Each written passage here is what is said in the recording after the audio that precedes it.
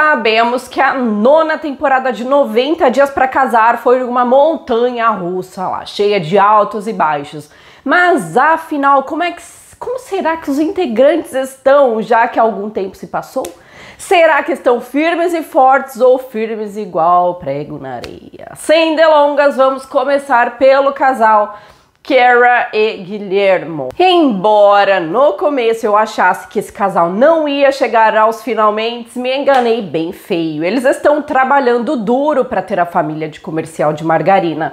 O venezuelano está melhorando seu inglês, está trabalhando em dois empregos na área de vendas e também na área de hotelaria, enquanto ele é um pouco discreto em suas redes sociais Carrie está trabalhando como influencer enquanto cuida do filho. E falando em filho, em novembro de 2022 eles tiveram o primeiro bebê, Nicolas Antônio. Emily Kobe, eles casaram depois que tiveram o segundo baby e mesmo nos altos e baixos lá continuam juntos. Kobe trabalha em uma empresa que fabrica asfalto e Emily fica em casa cuidando das crianças, o que é coisa pra caramba, na minha opinião, viu? O povo acha que a mulher que não trabalha fora não faz nada da vida.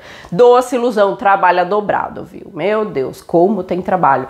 Patrick e Thaís, quando tem brasileira no reality, já me dá aquela tremedeira. Meu Deus, vai fazer a gente passar vergonha? Meu Deus, a gente nunca consegue prever o que vai acontecer. No começo, eu confesso que eu só via a Thaís como interesseira, queria luxo, só queria luxo, só queria mais luxo e queria mandar na casa e no irmão dele. Era só isso que eu enxergava. Mas durante o Tell All, ela divulgou a gravidez e a Lizzie nasceu meses depois. Ela trabalha como influencer na internet e Patrick, que é um gerente geral aí de uma empresa de automação de casas.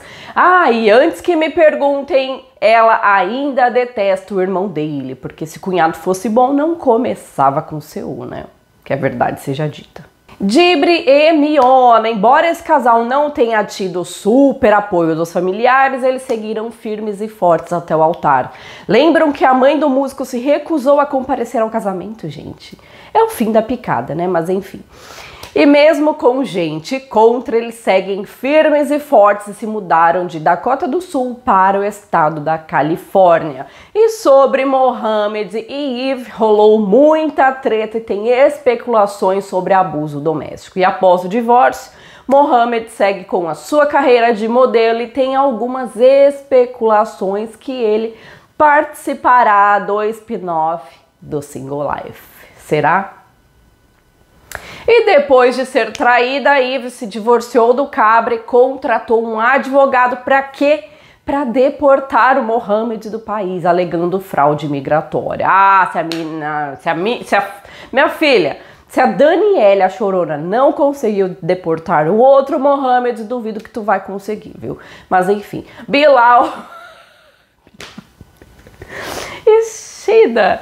Mesmo após rolar o casamento, Bilal ainda tem receio de que a esposa é uma caçadora de ouro, vulgo interesseira. Gente do céu, por que casou então se desconfia da menina? Eu não entendo isso, cara. Juro, eu não entendo. O cara noivou, o cara casou e ainda continua desconfiando, gente. Por que, que casou se não confia na pessoa? Me diz. Ele atualmente trabalha como corretor de imóveis e finalmente conquistou a sua vida estável, finalmente, né? E sobre filhos, ele ainda, eles ainda não têm não, viu? Mas tem um contrato que garante que Shida terá um filho antes dos 40 anos. Tem contrato até para isso, né, minha gente? Gente do céu, a pessoa tem que assinar que vai ter filho antes dos 40. E para fechar com chave de ouro, Bini e Ariela, eles continuam juntos, se mudaram para outro estado, Iowa, e eles estão trabalhando duro nesse relacionamento. Eles têm apenas um filho, o Ave, e o Bini está fazendo de tudo para ser um lutador de MMA de sucesso. Agora comentem aqui que casal mais te surpreendeu, hein? E qual que é o seu casal favorito? Comente aqui a sua opinião que eu vou amar saber. E para fofocas quentinhas, lembre-se de se inscrever aqui no canal, ativar as notificações, porque eu tô postando vídeo, gente, de segunda, quarta e sexta tá bom? Então, sempre de segunda, quarta e sexta tem vídeo aqui. E a gente se vê com certeza na próxima fofoca.